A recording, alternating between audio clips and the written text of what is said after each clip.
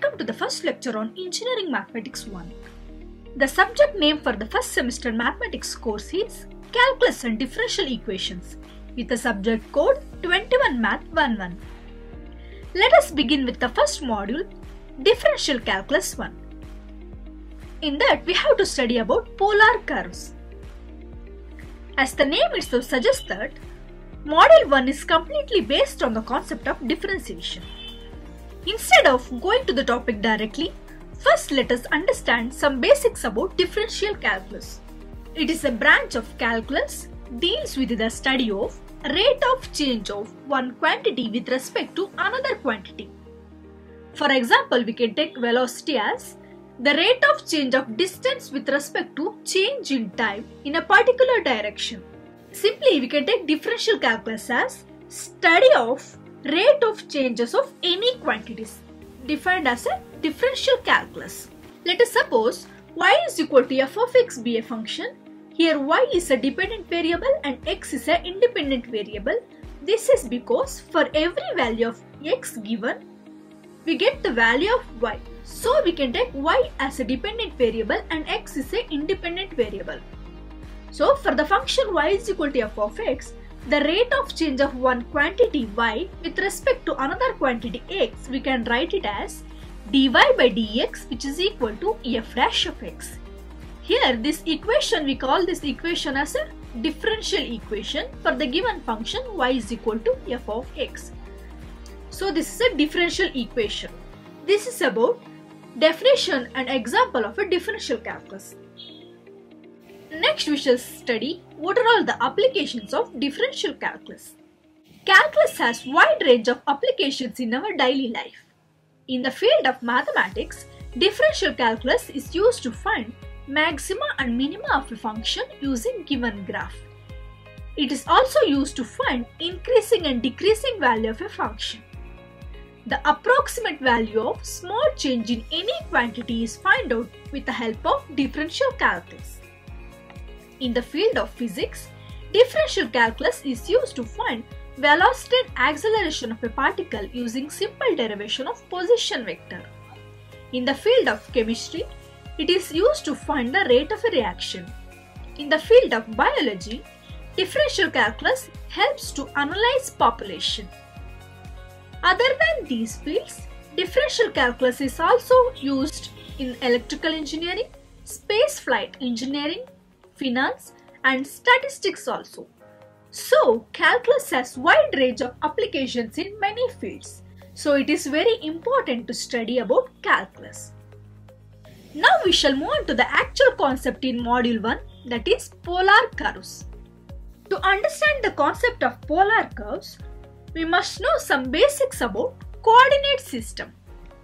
We all know that there are two different ways to represent any point in a plane. One is rectangular or a Cartesian coordinate system and another one is polar coordinate system. In case of a Cartesian coordinate system, any point P in a two-dimensional plane is represented by corresponding horizontal and vertical distance from the origin O. Here, in case of Cartesian coordinate system, this point O, we can call this point as a origin. So, in a two-dimensional plane, if we represent a point P, so P has a coordinates which is represented by horizontal and vertical distance from the origin O. So this distance is x and this distance is y. This is about Cartesian coordinate system.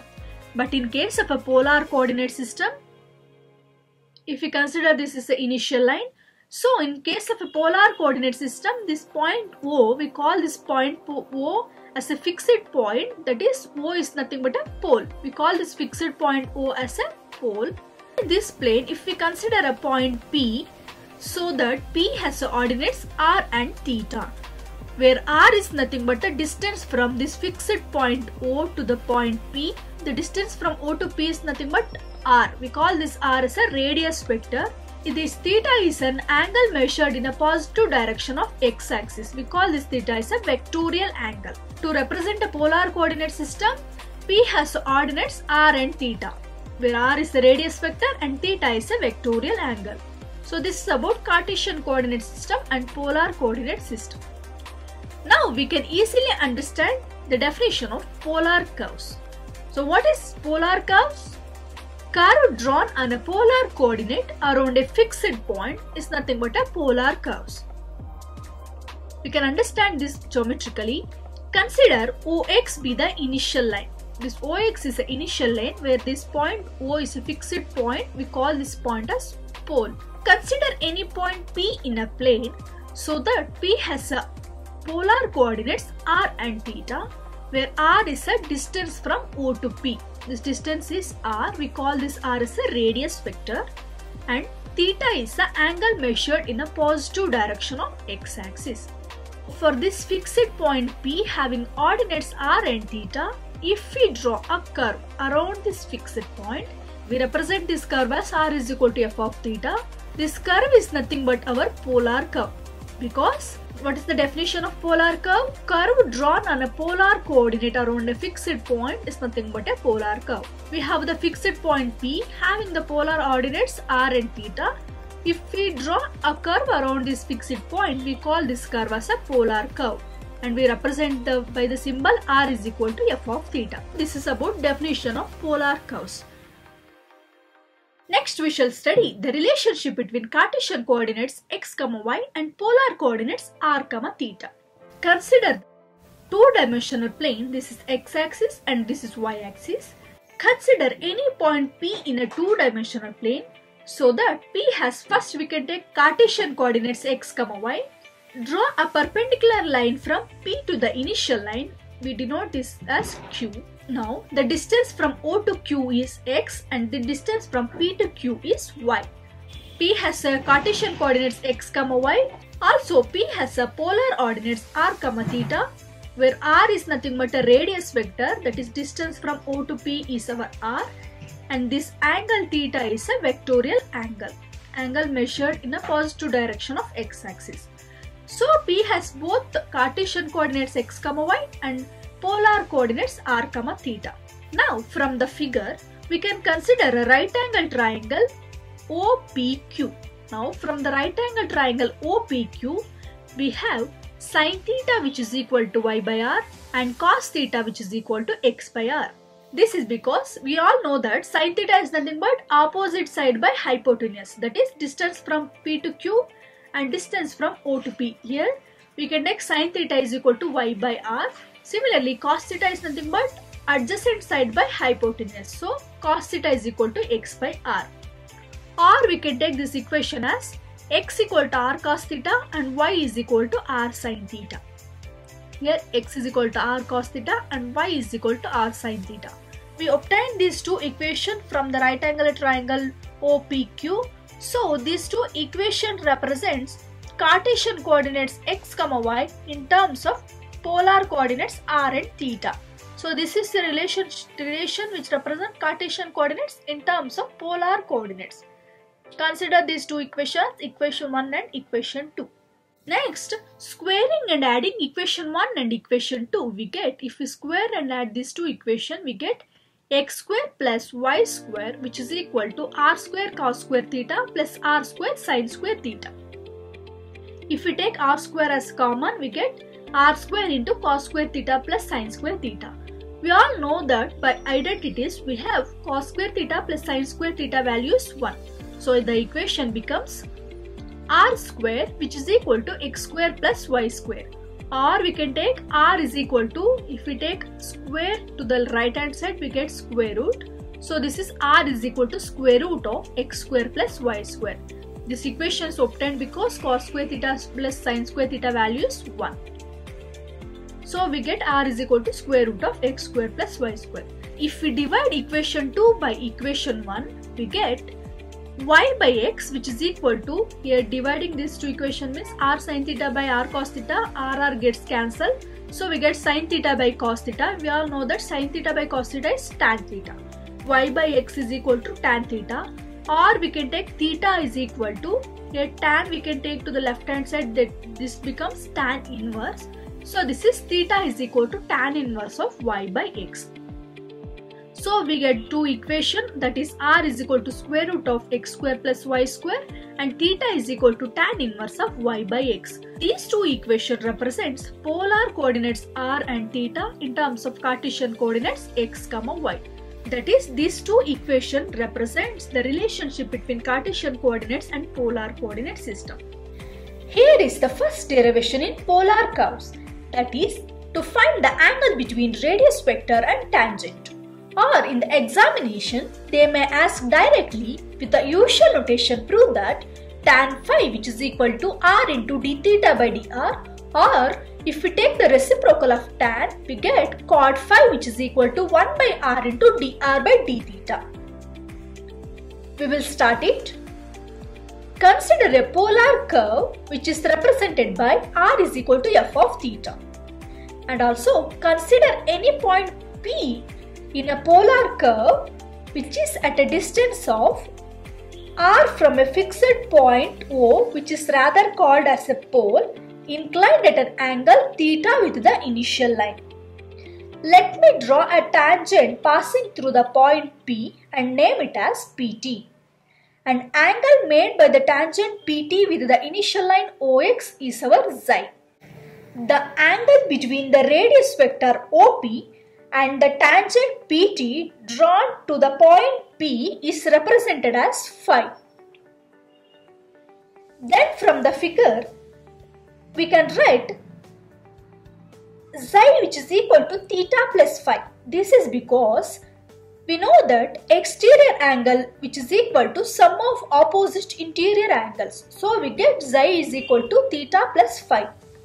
Now taking tan on both the sides we get tan psi which is equal to tan of theta plus phi.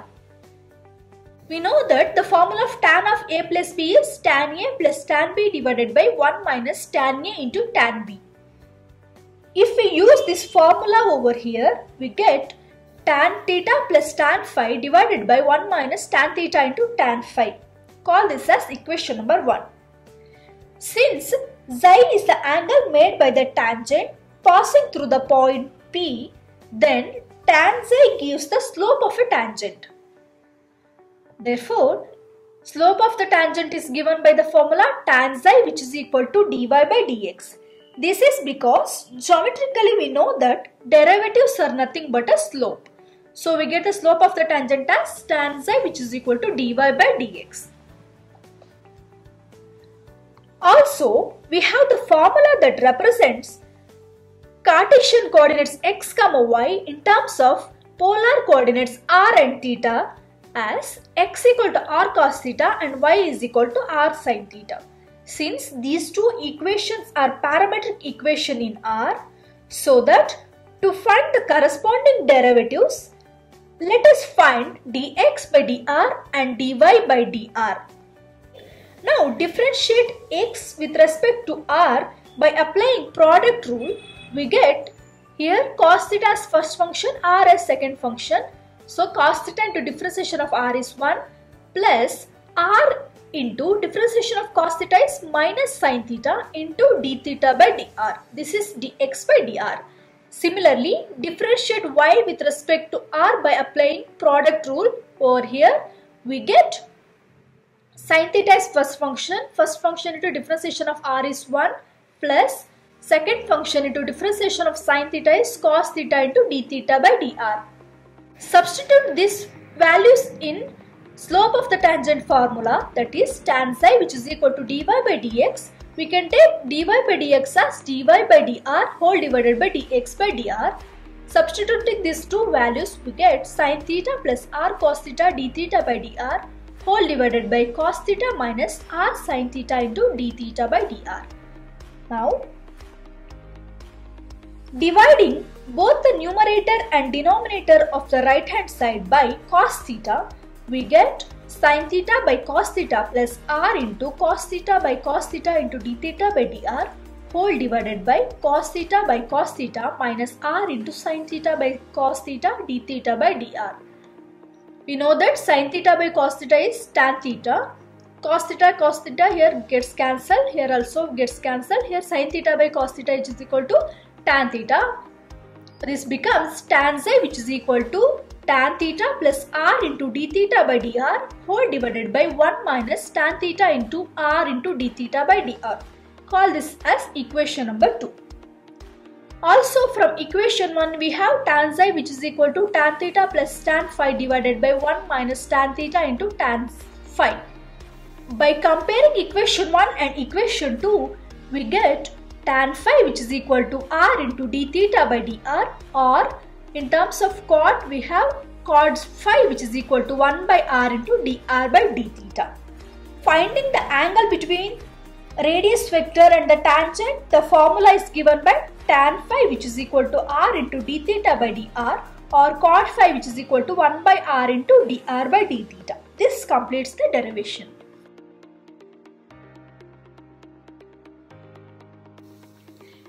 Formula is to find the angle of intersection between two polar curves. Let us suppose two curves given to you which is represented by r1 is equal to f1 of theta and r2 is equal to f2 of theta which is intersecting at a point P. Let PM be the tangent passing through the point P for the first curve and Pn be the tangent passing through the point P for the second curve. So finding the angle between two curves is nothing but finding the angle between corresponding tangent passing through the point P. Let OX be the initial line and OP be the corresponding radius vector which is inclined at an angle theta with the initial line.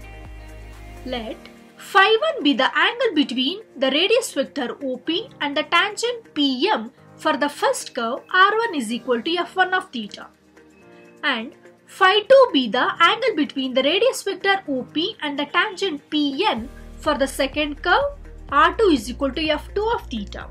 From the graph we can easily analyze that angle between the two polar curves is given by phi 1 angle phi 1 minus phi 2.